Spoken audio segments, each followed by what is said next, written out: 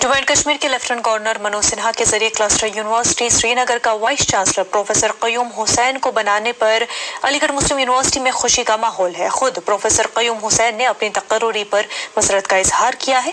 Professor Qayyum Hussain A M U کے شعبہ bio chemistry سے تعلق رکھتے ہیں۔ اپنی ترجیحات بیان کرتے ہوئے پروفیسر قیوم حسین نے کہا کہ کلسٹر یونیورسٹی میں کامن ریسرچ سینٹر قائم کیا جائے۔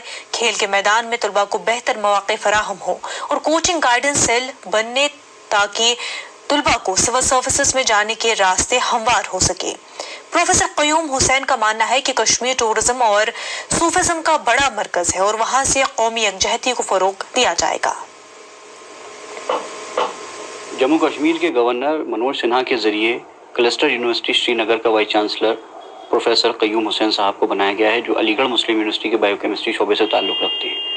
اس وقت ہمارے ساتھ موجود ہیں قیوم صاحب۔ قیوم صاحب بہت بہت مبارک آپ کو۔ جی، جی۔ اور کس طرح دیکھتے ہیں ذمہ داری کو؟ کیا آپ کی ترجیحات رہیں گی؟ کس طرح سے اس یونیورسٹی کو مزید ترقی پر آپ لے کر جائیں؟ جی کامران صاحب thank you very much and cluster university Srinagar جو ہے یہ ریلیٹیولی نیو یونیورسٹی ہے۔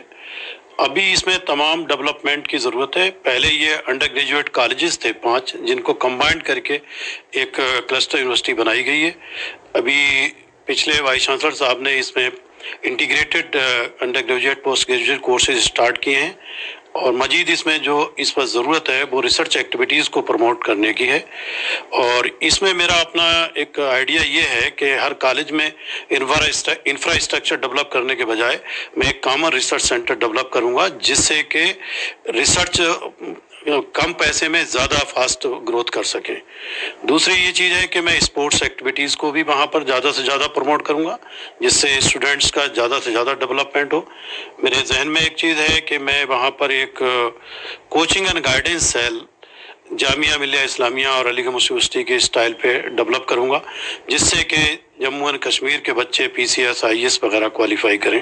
اس کی وہاں پر ایک uh, سخت ضرورت ہے۔ اور آج کا زمانہ جو ہے وہ ایکریڈیشن اور رینکنگ کا ہے۔ یونیورسٹی کے ان تمام چیزوں سے لانے پہ ٹیچرز کو پروموٹ کروں گا کہ وہ نئے نئے ریسرچ پروپوزل بنائیں اور وہ گورنمنٹ کی ڈیفرنٹ فنڈنگ ایجنسیز میں اپلائی کریں۔ فنڈنگ لائیں ریسرچ کو پروموٹ کریں اور کچھ نئے کورسز بھی کھولنے کا میرا پروگرام ہے جو کہ جاب اورینٹیڈ ہے۔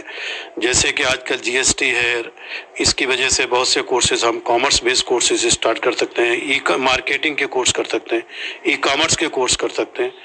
اور جموں اینڈ کشمیر چونکہ ایک ٹوریزم بیسڈ اسٹیٹ ہے، تو اس میں ماسٹر اینڈ ٹوریزم اور اس میں جو ہے hospital management and hospitality and hotel management اس طرح کے کورسز کو پروموٹ کیا جائے گا جس سے بچے شارٹ ٹائم میں جاب حاصل کر سکیں۔ اور بہت سی چیزیں روزگار سر بڑا مسئلہ ہے وہاں کے اسٹوڈنٹس کے لیے روزگار کے لیے۔ وہاں پہ لوگ تعلیم کے لیے بھی ادھر کے علاقوں میں آتے ہیں بچے۔ تو ان کو وہ ساری فیسلٹیز وہ سارے مراحت وہاں دینے کی آپ کی کوشش رہے گی۔ اور مزید کیا اس میں شامل؟ اس میں یہی جیسے کہ ٹوریزم کا کو بڑھاوا دینا ہے۔ ہوٹل مینجمنٹ کو بڑھاوا دینا ہے اور مینجمنٹ سے ریلیٹڈ جو اور دیگر کورسز ہیں جو اسپیسیفک ڈسپلن ہوتے ہیں، جیسے انٹرنیشنل بزنس ہے، اس طرح کے کورسز کو کھولنے کا ارادہ ہے۔